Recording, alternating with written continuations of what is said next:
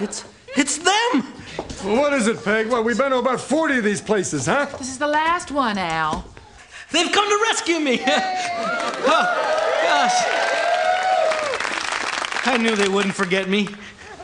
Well, he's not here.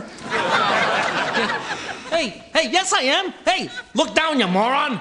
Well, are you sure, Al? I mean, maybe we Peg, should. don't you think if Buck were here, he'd be barking? I know, because a man and his dog have a bond. And if. Will you shut up, you mutt?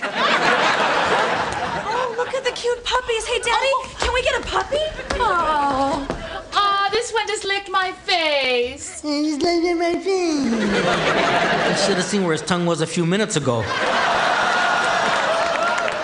Yo, fools, I'm down here. Puppy will cost you fifteen dollars.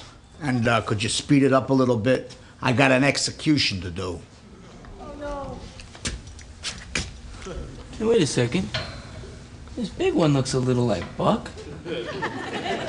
Well, that couldn't be. you know the irony in this is they should be putting you guys to sleep in 30 seconds. Now, wait a minute. Now, that is Buck. Buck. It's Buck. Hey, hey, hey, hey, that's our dog. He'll cost you twenty bucks. 20 bucks? Why, for 20 bucks, I can get a real good suit. A fathead losered his way into the pound today.